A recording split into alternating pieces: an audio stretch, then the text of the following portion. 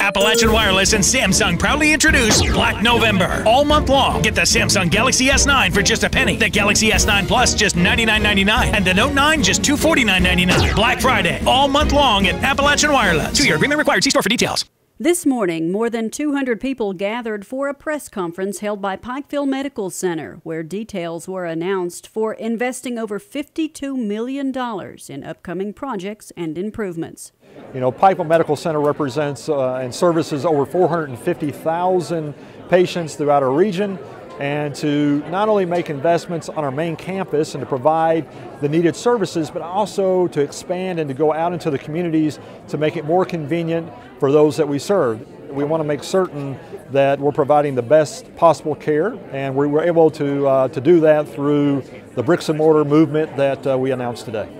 The biggest monetary project announced today was a $32 million investment to build a new heart and vascular institute with a projected completion date of August of 2020. But the announcement of a new children's hospital definitely drew the most attention. That the people of this region for years have had to send our children to Lexington, to Cincinnati, to West Virginia, and those are great hospitals. There's no denying that but the burden that it puts upon the people of this region is unreal. Phase one of that project will be the relocation and expansion of a pediatrics clinic with a completion date of March of 2019. Phases two and three will include inpatient beds and services. PMC CEO Donovan Blackburn says he is proud to be able to announce so many new projects after laying off more than 100 employees earlier this year.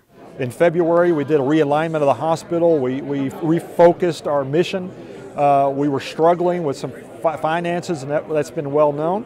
Uh, we've been able to shore all that up. We've made some good financial decisions with the board's direction. Uh, we're now operating very nicely. We're in the black. Uh, and now we're making investments to, uh, to serve the area so we can continue to grow.